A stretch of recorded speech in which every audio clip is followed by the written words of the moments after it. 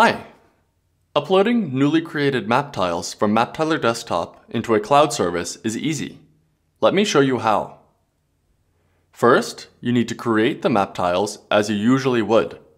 This means drag and drop your file into MapTiler Desktop, georeference it, and export. As an output format, I recommend using the standardized GeoPackage format. If you click on the GeoPackage icon, you can adjust the parameters of the output. In MapTiler Desktop 11.2, we've added two statistics to help you find the right settings for your use case. This is the estimated output size and the estimated rendering time.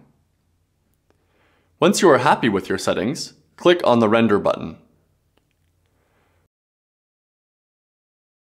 When the rendering is complete, choose the Upload to Cloud option.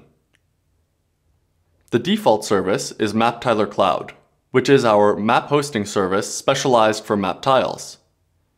Alternatively, you can choose Amazon S3, Google Cloud Storage, or Microsoft Azure.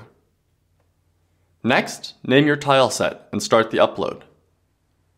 And after the upload is finished, you can see your dataset on MapTiler Cloud and get links to the map tiles as a web map tile service or as a sample of source code for viewers.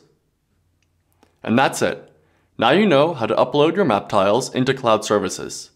And if you want more to see more videos like this, remember to like and subscribe.